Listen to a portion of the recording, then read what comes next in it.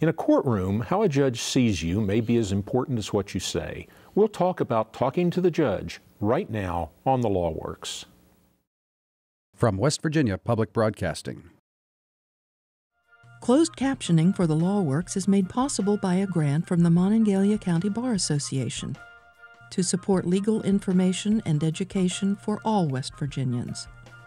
The Law Works is made possible by a major grant from the West Virginia Bar Foundation, the philanthropic organization for West Virginia's legal profession and legal system, promoting public knowledge of the law in West Virginia.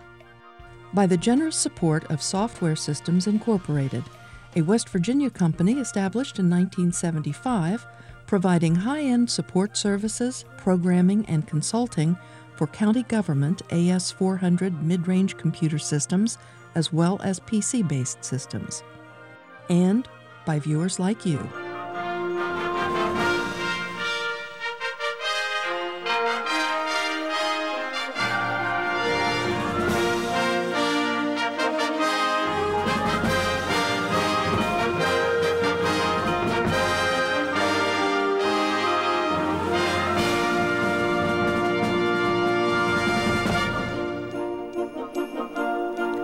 Actions and presence are as important in a courtroom as are words. My guest is the Honorable Michael John Aloi, Chief Judge of the Circuit Court of Marion County, West Virginia. Judge Aloi, thank you for joining us. Thank you for the invitation, Dan. I, I, wanted to have you in here because although you're the Chief Judge of Marion County, you are a relatively new judge. How long have you been on the bench? I have been on the bench for six months now. I was appointed and started my term on August 1st, 2011. You were appointed? Yes. Judges are elected. Well, when uh, Judge Fox retired, uh, at that point in time when a judge retires, then it's up to the governor to make an appointment until the next election. So uh, Judge Fox retired. I was appointed uh, by the governor, and I'll continue to serve to the end of the year. Uh, I do have to be elected, though, and that election will take place in May, the primary, and then the general election will be in the fall. So there's continuity provided if a judge retires or would die in office someone is nominated and appointed by the governor. Yes, and in fact, in, in Marion County, uh, we even had greater continuity because when Judge Fox retired, he agreed to continue to serve as a senior status judge until the new judge uh, took the position. So in Marion County, we had we literally didn't even have one day where we didn't have a judge. Judge Fox continued to serve until I was appointed, until I was ready to start the position. That had to have made things a lot easier than the typical interruption well, the transition uh, was, in my opinion, any, anyway, seamless from my from my perspective, and I really do give a, a great deal of uh, thanks to both Judge Janes and Judge Fox. Uh, when I received the appointment, I met with both of them early on. They were extremely gracious, extremely helpful, and it was very clear to me uh, that both of them were really in, invested in my success as a judge uh, really, really for the people of Marion County so we could continue to serve them well. And anyone who knows Judge Fox will know that um, he's just a very good, decent man. And what would have been more important to him than anything else is, is that uh, whoever followed him would be successful and that they would be able to continue to serve uh, the people of Marion County well. Now, you were a practicing lawyer at the time you were appointed to become a judge. Yes. How long had you been practicing? I'd practiced law for over 28 years. Uh, same law firm, started practice in May of 1983 with my cousin and law partner Tim Manchin, and we continued to practice uh, until August 1, uh, 2011. A large part of your practice concerned mediation. You had uh, you're pretty well known all over the state as a mediator. You uh, chaired, I believe, the State Bar's Mediation Committee for a while and yes. uh, lectured and taught on mediation.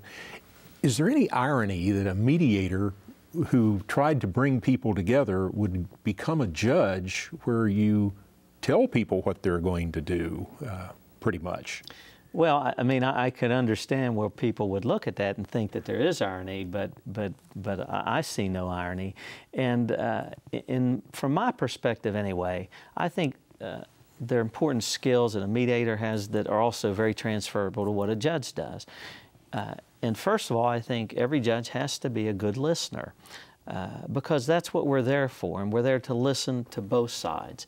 And unless uh, we don't listen clearly and intently with a strong desire to try to understand what it is uh, that people are trying to say, uh, what it is that they feel, then I don't think we can do our job effectively. And in addition to being a good listener, I think we're also a facilitator, facilita- facilitator of a process that helps people get disputes resolved. And so both of those skills were really essential to being a good mediator. Uh, now, the only difference is, is that if you listen and you facilitate uh, and the parties can't agree, then the judge will make the decision. In, in, a mediation, if the parties can't agree, then they take the next step, which is court. Uh, so I have found that my mediation skills have really served me very well. Well, I, that really answers a lot of, of, what my next question was going to be, but I'm going to ask it anyway because it, it's such an important question. What's the job of being a judge? What does a judge do? Well, you know, a, a judge really does does many things, uh, but the important works of the court is that there are a lot of disputes in society. Uh, and they may, may be um, criminal matters in which people have committed criminal wrongs against individuals. They may be civil matters where someone has breached a contract, someone's been injured, someone they believe had been wrongfully fired. Uh, and so we need to have a system that responds to those disputes and those conflicts in an effective manner. Uh, and so, in many ways, I believe uh, that the court system is what really holds together the fabric of society. Because if we don't have a meaningful way for people to re- resolve their disputes, then they'll find some other way to resolve them. And so it's extremely important that they have confidence in the court, that they know that when they go to court that they will be listened to, they will be treated with respect, and they will at least get a fair decision. Now, a fair decision doesn't mean that it's going to be the decision that they want, uh, but it means that there will be a fair process because a judge can only make one decision and, and rarely will make both sides happy. But I do believe that if people feel uh, that they've had a fair process, that they've been listened to, and they've had their opportunity to present their case, then I hope that they will feel that they've had their day in court and that they've had uh, the justice, hopefully, that they're entitled to in our society. So many times I have people come to my office, you probably did when you were practicing law also, and you would ask somebody, What do you want? They, mm-hmm. They'd complain, well, What do you want? And often the answer would be, I want justice. Mm-hmm. And then I would have to explain justice is the process you were just describing. It's not the outcome. The outcome, we just label that justice because that's the end result of this justice process. And you may or may not like the justice you get, but you, you will get it by definition. Well, well no, you're absolutely right. And, and I was just reading an article the other day. But uh, the essence of the article was in terms of justice, really, justice is about procedural ju- justice. It's about process. It's about when you become before court, when anyone comes before court, that they know they will be treated fairly, regardless of their economic status, regardless of their social status. They know that they will be here, they will be heard by the judge in a fair way, and that they will be treated fairly, everyone by the same rules. Now, uh, what happens, though, is in the end, there, there will be a decision that has to be made. And decisions, by their very nature, are, are going to be uh, favor one side or the other because uh, the dispute is such that you can't resolve it for both of them. But you know, my focus is always on is that what do I do that will make sure that both sides have had a fair opportunity to be heard and that I know everything that I need to know that will help me make the most informed decision that I can. And you don't always make the final decision in every matter that comes before you. We've got six or 12 people mm-hmm. sitting over there to one side in the jury box that does a lot of that. Well, you know, absolutely. And, and in fact, in all trials, uh, really the judge's primary role is to make sure that there is a fair trial, that both sides are able to put on their cases in a way uh, that can most effectively represent their clients. And then ultimately, the judge's responsibility is to make sure that that happens. It's the jury's responsibility then, once that happens, to make the ultimate decision as to whether or not someone's guilty or not, or whether or not they find in favor of one party or the other. But again, the judge's role is to make sure that at the end of that day in the courtroom that everyone has been treated fairly and they've been able to put on their case in a way that's meaningful, uh, that represents uh, the client in a way that the jury can make the decision uh, in an informed way. You're kind of the referee, the umpire, the gatekeeper to what the jury gets to consider if there's a jury in the case. And, um, and, and I think that's a fair analogy, but you know, at times, Dan, I, I think that a referee is, it is sometimes too simpli- simplistic of an analogy. You know, I'd like to think that what I'm doing is more significant than just calling balls and strikes from the bench. Uh, I, I, think there, there's something far more going on in the courtroom uh, than that. And it's a, it's a, a matter of, um, of preserving an atmosphere where everyone knows that they're respected, everyone knows that they will be heard, and when they leave, they will feel that they have been treated fairly. Now, that's a broader perspective than just calling balls and strikes, at least in my opinion. And then they're not allowed to yell at you that you need to get new glasses or something like that. It's a very solemn uh, activity that goes on in the courtroom, and the judge is very much the authority figure there.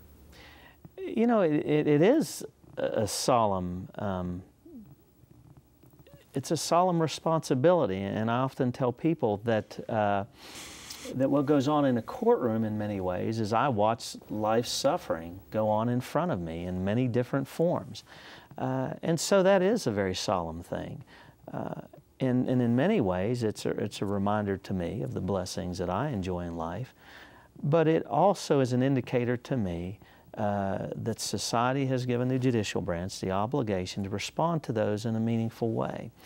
Uh, and again, if we don't respond to it in a meaningful way, then they'll have to find other choices to do so. And it is solemn, it's serious work, but of course it's serious work. We impact people's lives in very intimate ways. Uh, and that's the most serious work I can think of.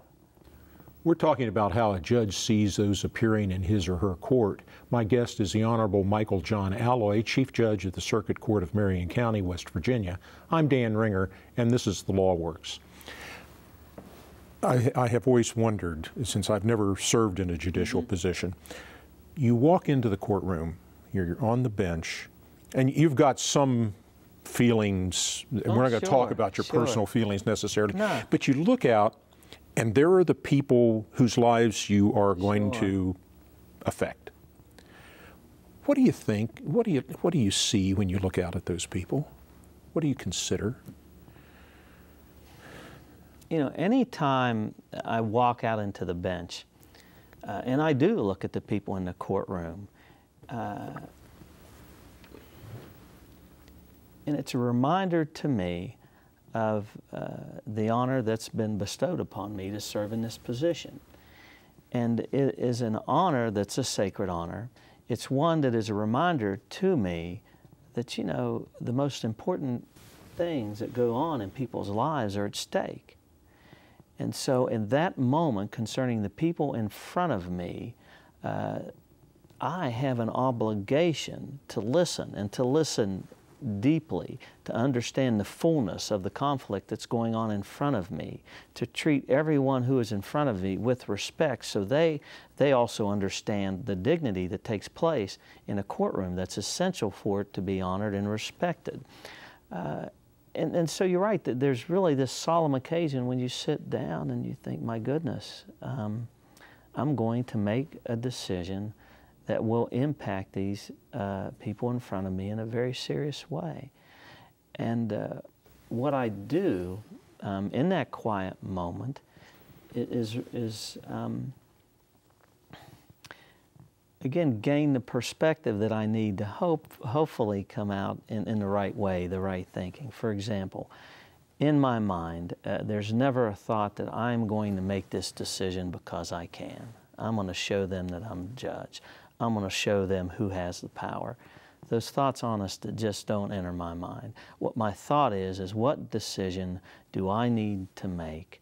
What decision will have the opportunity or the ability to affect the conflict in front of me in a way that's most meaningful and most helpful. Now, sometimes that may be that the person in front of me simply needs to be separated from the rest of us uh, to protect my neighbors and my, and my friends and the people in our, our community. Uh, sometimes it may mean that there are things that we can do to help them uh, along the way. But it's, it's always guided by um, simply what do we do uh, to do my part on that day to really um, promote the cause of humanity. And maybe we're one step further after that hearing than we were before.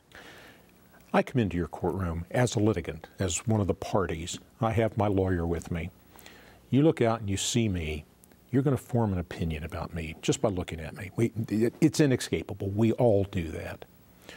What do you want me, as the litigant, to be in your courtroom? What do you want me to do in your courtroom to help you make a decision? Well, uh, I mean, you're absolutely right, Dan, that the communication is far more than just what you say. And, and there are many studies that say that um, when you communicate, uh, most of it may be with your body. Uh, your, your mannerisms, the look in your eyes, the inflection in your voice. Uh, and, and so I certainly do my best when I'm in the courtroom to act in a way uh, in a very sincere way to show respect to the parties. And so when they're speaking, I look at them. Uh, and, and I want to make it very clear that I'm listening to them. And I speak in a way that I hope that my voice will convey the importance of the moment that's before me. And so I would hope that whoever comes into the courtroom recognizes the significance of the moment. And so I think that when something is important, you reflect that by how you dress. Uh, now, let me say this it has nothing to do with how nice your clothes are, how much money you can spend on them. It was very clear to me in one hearing when someone came in uh, that they did their very best to pull out the best shirt they had, the best tie they had. They were neat, they had it tucked in. I, I could tell that they had groomed themselves in, in a way that they knew that this event was important. And uh, that just said something to me. Uh, now, that doesn't mean that when I make a decision, the decision is always going to be based upon the substance of the case. But the truth is, is that when people communicate, I think uh, your message becomes a little more clear when you do it in a voice uh, that's respectful, uh, when you do it in words that are respectful, when you address the issues that are before the court anything that goes from, from that context can be distracting. And if you distract someone, then it makes it more difficult to focus on the issues it should be focused on. Does the quality of a person's speech, the words they use, make any significant difference to you? You know, for me, what's what makes a difference is the um, the sincerity of what they have to say know, wh whether or not there's there's there's proper grammar or, or, whether it's it's uh, the words are beautiful or it flows in such a way, uh, I have had people say to me th things that I can tell is coming from the heart, that that um, they are searching for ways to try to convey to me uh, how they've been impacted by what's happened, and it's almost that you could feel it in in the courtroom. Uh, and then I've also had people who probably said if you read the words on paper, uh, they would have appeared so eloquent. But when they came out of someone's mouth, it became very clear that there wasn't a connection between what they were saying and what they felt. So for me, again, I look at the fullness of what's taking place in a courtroom. Uh, what's sincere? What's meaningful? Who is really trying to convey a message uh, that represents who they are and what it is that needs to take place in that courtroom. And I can tell you uh, that uh, jurors understand that. I don't know how many times you've had a conversation uh, when you leave a room and someone will say, "Boy, I, wasn't what they had to say wasn't that beautiful?" And uh, and then you'll ask, "Well, what did they say?" Well, I can't remember, but it was just beautiful because it's what they felt. And, and you can tell that when someone's sincere. And you can also tell when someone's not sincere. Uh, and, and so you hope that what takes place in a courtroom um, is, is honesty, sincere honesty, uh, not honesty that's made up. Uh, jurors can spot a fraud, and, and judges can spot a fraud. And what we're looking for is the genuine truth. We're talking about how a judge sees those appearing in his or her court. My guest is the Honorable Michael John Aloi, Judge of the Chief Judge of the Circuit Court of Marion County, West Virginia. I'm Dan Ringer, and this is the Law Works. Well, what do you not want to hear? What you you walk in, you sit down, and, and somebody starts off on something. What do you not want to hear them starting off on? Well, it's a good question. Well, um, what I don't want to hear uh, are, are two people talking over each other. Um, uh, and, and, and, let me say this what's impressive to me as a court is a lawyer who's really listening. And what I mean by that is, is certainly one lawyer will get up and they'll make a presentation. And I listen to that. And then um, the other lawyer will get up to, to make a presentation. Now, I understand they have their points to make, but I'm wondering have they, have they heard anything that the other side had to say? Now, if that lawyer listened to the other side and what they were saying, and they were able to respond to that, and then blend that with the arguments that they needed to make, then that to me is just very helpful. Because as a judge, I'm always trying to put this in context, both sides, and I always appreciate help in putting it in context. And uh, what becomes very frustrating is when you have someone who stands up to speak who has either not listened or not heard a single thing the other, the other person has had to say. Because again, from a judge's perspective, you're trying to understand everything and how it fits in context. And for example, uh, if, if a lawyer would stand up and say, Judge, you know, I, I listened to the argument that he or she had to make, and, and this really appears to me to be their strong point. And so let me tell you how I view that point that's educational to me. That's helpful. I'm, as a judge, trying to gather information that's going to help me make the best decision I possibly can. Uh, and so I have to tell you, when that happens in a courtroom, and when you have two lawyers who are listening to the other, who are responding to each other. It becomes a good dialogue.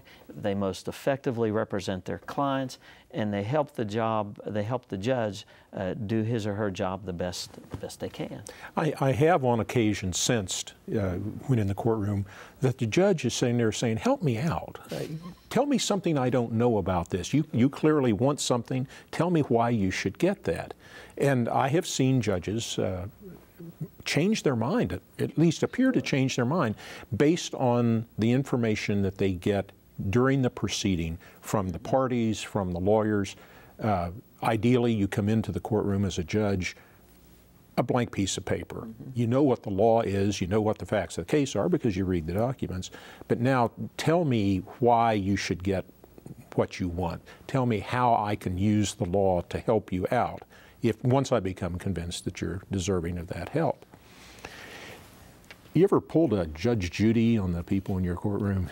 And by that I mean lecture them, be harsh with them, tell them that they're well idiots or undeserving of being there or whatever it is she does. And there, and I should mention when we're talking about television judges, I, I mentioned Judge Judy because I think that's the oldest program that's been on the air the longest. You ever do that stuff? No, I, I think that that at times uh, the television judges and the contact, the conduct, and how they conduct themselves is just so disrespectful of the parties, and I find it offensive. Uh, you know, I have people in front of me who are suffering or going through difficult times in their lives, and, and the last thing I should do is treat them with disrespect and, and yell. Uh, you know, I don't need to do that in a courtroom. Now, there are times, certainly, when decorum has to be preserved in a courtroom. But I think a judge does that by setting their, their, their own example on their tone of voice, uh, how you listen to people. Uh, and you can easily, if someone's speaking over someone else, you can stop the process and say, excuse me, um, you know, I can't, I can't hear uh, what you're saying while the other person's speaking. Now, if you wait, uh, you'll have your opportunity to do so. And I've never had to say anything other than that. Uh, um, um, and then the parties will start listening to each other. Uh, but, you know, to, to yell at people, to call people names, to embarrass them, to humiliate them, is, I, I think, really represents what's ugly about society, which represents uh, what people think is now how we should communicate, which is not to listen, but simply to yell at each other and see who can bunk, become creative, uh, most creative with just these, uh, these name calling. that doesn't do anything to promote the cause of society. And, and I sometimes will let them know very clearly what you've just done is not helpful, it's not persuasive. This is what I need to hear. And so I hope that I can set some example on how it is that we're to conduct ourselves in a courtroom. And not only that, some example on how we should uh, conduct ourselves with each other. Would you consider becoming a consultant for presidential debates? Maybe get a handle on that there. Yeah, no, no, one has asked me. And, and you know what? I, I, think people get tired of it. They, they want people who know how to communicate and listen to each other, treat each other with respect. Judge Michael John Aloi, thank you, sir, for being with us. Thank you, Dan. It was my pleasure. Thank you also for being with us on behalf of the Law Works. I'm Dan Ringer. Good evening. On the LawWorks website at thelawworks.org, you'll find a listing of recent The LawWorks programs, additional information about this show's topic, and video of this and recent shows. You can also find the LawWorks programs on YouTube and iTunes. If you would like to suggest a topic for a future The Law Works show, or if you're a school teacher and would like to receive a DVD of this show for classroom use, send us email at thelawworks at comcast.net or visit us on Facebook. The Law Works is produced in cooperation with the West Virginia Bar Foundation, the Mountain State Bar, the Monongalia County Bar Association, and the West Virginia University College of Law.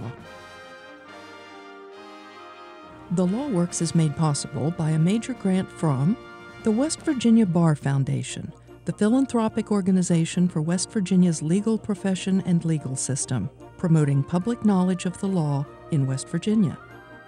By the generous support of Software Systems Incorporated, a West Virginia company established in 1975, providing high end support services, programming, and consulting for county government AS 400 mid range computer systems as well as PC based systems.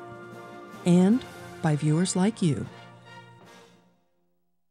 From West Virginia Public Broadcasting.